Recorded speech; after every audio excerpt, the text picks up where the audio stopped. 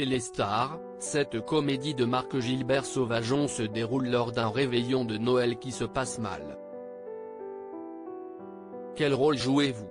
Pierre Palmade, j'incarne le mari de Virginie un homme qui voit ressurgir de son passé une ancienne maîtresse.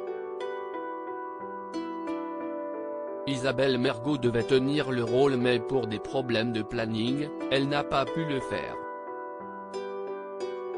Virginie joue ce personnage avec force.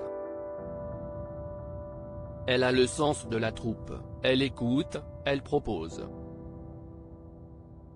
Si est une locomotive géniale? Elle nous file une patate incroyable. La captation a eu lieu au Théâtre Saint-Georges à Paris, où vous aviez déjà joué une version adaptée de la pièce en 2012.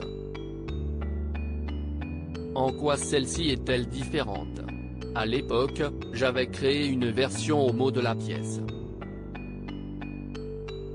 Elle avait bien fonctionné. Là, on revient à la pièce d'origine, un classique dont le public a toujours en mémoire la version des années 1980 avec Marc Mercadier.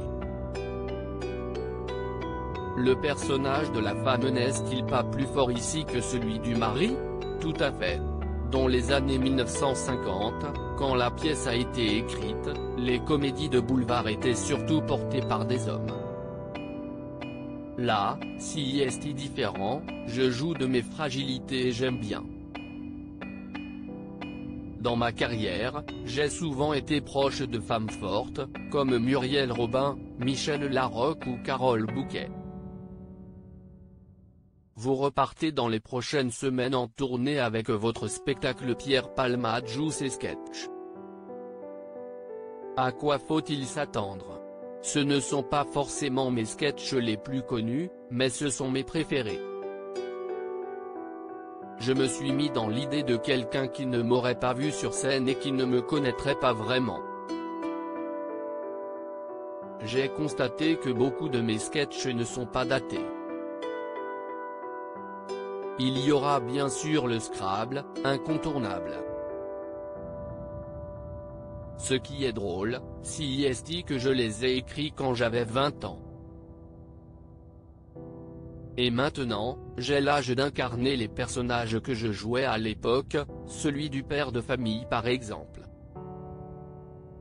Vous participez aussi à I Love You Coiffure, le 21 décembre à 21h05 sur TF1, fiction imaginée autour des personnages des sketchs de Muriel Robin dont vous êtes l'auteur. Êtes-vous fier du résultat? Je suis heureux de voir que le travail qu'on a fait continue à exister.